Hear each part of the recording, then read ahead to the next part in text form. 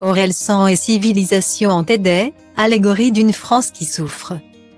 En une semaine, l'album Civilisation a été écoulé à plus de 138 000 exemplaires. Chiffre le certifiant déjà disque de platine, supplantant même le succès du dernier album d'Adèle. Intitulé 30. Aurel Sang aura su faire la différence, notamment en proposant 15 versions différentes du CD, vidéo, illustrant chacune des chansons de l'album. Dans certains d'entre eux, le chanteur a même glissé un ticket d'or assurant aux détenteurs la gratuité de tous les concerts que l'artiste donnera par la suite. Avant même sa sortie, Civilisation l'album d'Orelsan a donc suscité un grand intérêt auprès des fans. Les fans du rappeur Normand Orelsan attendaient avec impatience la sortie de son nouvel album. Le 19 novembre 2021. Et pour cause, outre le fait que l'artiste ait été absent pendant 4 ans.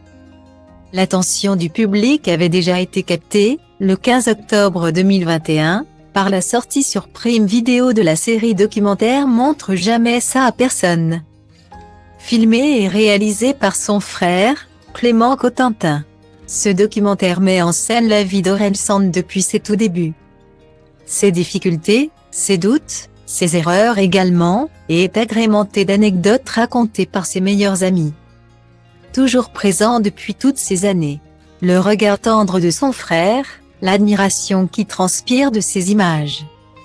Ces histoires d'amitié qui ont traversé le temps, sont autant de choses qui ont touché le public. Des images authentiques, des récits parfois poignants, la magie a forcément opéré.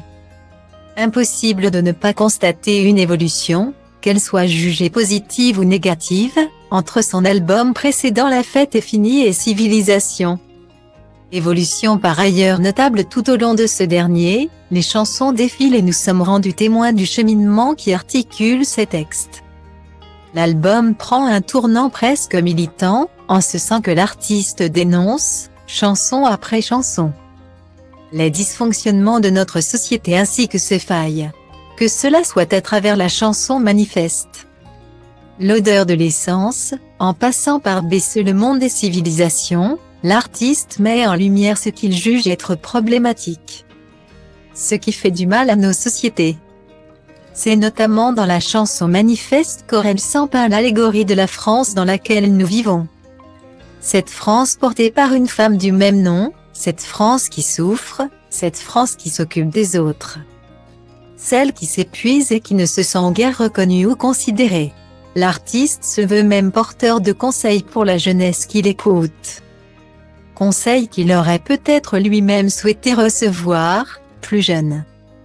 Suite à un titre sorti en 2007, intitulé Salpé, Orelsan se retrouve pris dans une polémique. Dans cette chanson, Orelsan se met dans la peau d'un homme rongé par la haine. Après s'être senti trahi par sa compagne, les propos qu'il y tient choqueront le public, qui y voit une incitation aux violences faites aux femmes. C'est à ce moment-là que se pose la question de la responsabilité des artistes et de leur devoir d'exemplarité envers la jeunesse qui les écoute. Orelsan ne jouera plus cette chanson et s'exprimera à plusieurs reprises sur le sujet, dans cette chanson. J'essaie de montrer comment une pulsion peut transformer quelqu'un en monstre. J'ai tourné un clip où je porte un costume cravate et bois de l'alcool, pour montrer qu'il s'agit d'une fiction. En aucun cas je ne fais l'apologie de la violence conjugale. L'attitude de ce personnage me dégoûte mais j'ai l'impression de représenter artistiquement la haine, comme a pu le faire un film comme Orange Mécanique. S'en semble assez pudique quant au sujet de l'amour, mais dans cet album, il dédie plusieurs de ses chansons, ensemble. Athéna, à sa compagne, criant au monde au monde entier l'amour et le respect qu'il lui porte. Et montrant par là même combien il est heureux.